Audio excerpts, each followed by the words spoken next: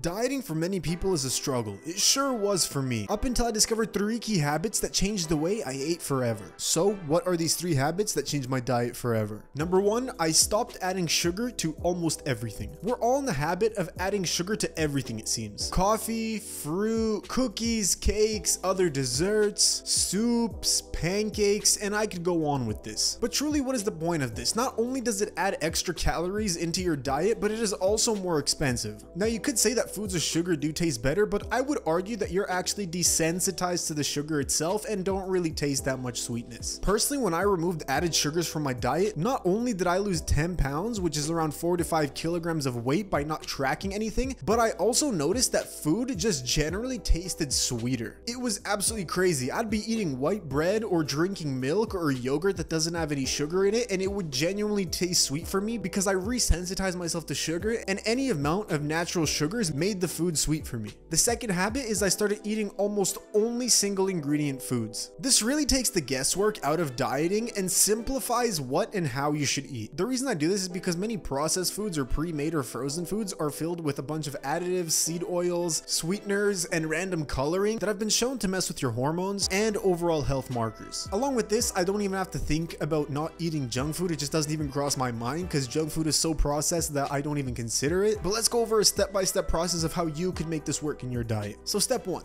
let's say it's an occasion and you want to make burgers and fries. Step two, Instead of ordering it or buying it frozen, you would go to the grocery store and buy the single ingredients such as potatoes, beef, oil, lettuce, tomatoes, and so on. Step 3, you would cook it and you would eat it. Now there will undoubtedly be some foods that do contain more than one ingredient. Like you're not going to reinvent a burger bun that's going to be much healthier than the one that already exists, or you're not going to really go without any sauces on the burger. Try not to overcomplicate it. Make 80% of your diet single ingredient foods and you should be totally fine. Number 3, I started counting calories. Now this one is not for everyone, but it is a nuclear diet habit if you can make this work. Ever since I started tracking my calories, I've had abs and they never went away, even on my bulks. Before this, I genuinely struggled with weight loss. I remember all the foods I was trying to cut out, all the hours of cardio I was doing, and I lost some weight, but just frankly not enough. It all changed when I stumbled upon a YouTube video of a guy explaining why you should track your calories, and after watching it, it just made sense. Of course, I wasn't reaching my goals. It was like trying to use a map, but not knowing where I was and where the destination was either. So I definitely recommend you give this a try as it can be totally life changing if you do make it work. And for this, you can just use a notepad and pen. You would search up how many calories an apple has in 100 grams. Then you would weigh the apple and just do some basic calculations to get your calories. I would generally recommend to find apps that do this as it makes life so much easier. And of course, I'd recommend our app. If you click the first link in the description, you're going to be taken to a page where it's going to calculate calculate how many calories you should be eating per day, and instantly make a diet plan based on your calorie needs completely for free. But anyways, I hope you enjoyed this video, and don't forget to stay savvy with your diet.